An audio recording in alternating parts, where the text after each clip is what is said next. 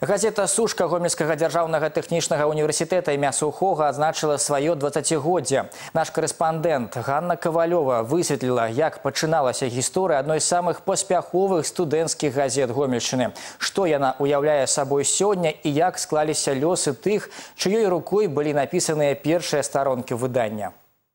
Жыццё ВНУ, навуковыя навіны, фотарэпартажы, анонсы галоўных мерапрыемстваў і многае іншае. На 16 палосах самая яркая і цікавая. Студэнцкая газета з пацешнай назвай «Сушка» мае даволі сур'ёзны спіс узнагарод і дасягненняў. За 20 гадоў яна не раз была прызнана лепшым выданнем у сваім родзе. Прычым у маштабах усёй краіны з моманту заснавання да выпуску газеты прыклалі руку больш за тысячу студэнтаў. Сёння ж напрацаваны за 20 гадоў імідж падтрымліваюць два рэдактары і 10 чалавек, фотографаў і корэспандэнтаў. По прафесіі гэта будучыя інжынеры, праграмісты, маркетолагі і эканамісты. Аднак нягледзячы на выбор тэхнічнай спецыяльнасці, усе яны ўжо зараз робяць упэўненыя крокі ў журналістыцы. У нас постоянно идет развитие в газете, мы постоянно привлекаем, ну, как бы сказали, новую кровь, новые идеи в газету. Студенты приносят всегда идеи нам, интересные какие-то. Мы всегда работаем на одной волне со студентами, с нашей молодежью. Цікава, што менавіта студэнты калісьці і выступілі з ідэі стварэння гэтай газеты, таму цяперашняе пакаленне рэдакцыі да гісторыі сушкі ставіцца з вялікай павагай. Да гэтага часу тут захавалі самы першы нумар газеты. У адрозненні ад сучаснай сушкі ён чорна-белы і складаецца ўсяго з дзвюх старонак. Дарэчы, ёсць маса прыкладаў таго, як за 20 гадоў студэнцкія газеты мянялі назву. За гэты час змянілася назва і самога універсітэта імя сухога. А вось імя газеты, якую стваралі ў яго сценах, засталося першапачатковым, хоць на момант стварэння і было некалькі варыянтаў. Ну, спрашивают, почему сушка?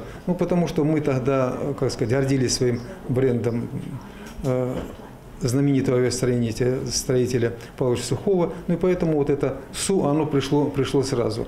Добавления там разные были, или варианты разные были. Даже мы что-то выпускали, кто-то предлагал, давайте совсем студенческое, сухарик.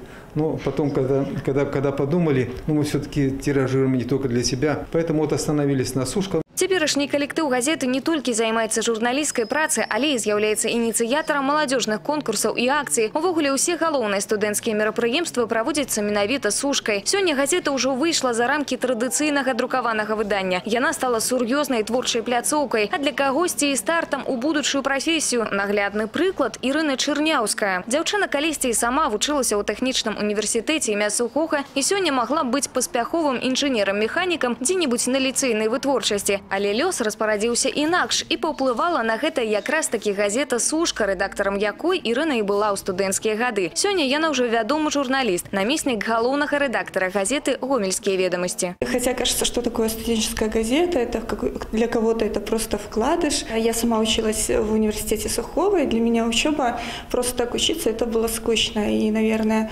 именно «Сушка» меня и привлекла. Она разнообразила жизнь студенческую, раскрыла во мне многие многие творческие потенциалы. У нас была достойная, хорошая команда, мы до сих пор общаемся. Многие люди благодаря Сушке понаходили семьи, и это очень тоже трепетно и важно для нас было. Ну и пожелать не останавливаться на достигнутом, продолжать побеждать, как мы и раньше побеждали, и радовать университет, находить достойных людей и развиваться. Ганна Ковалева, Евген Макеенко, телерадиокомпания «Гомель».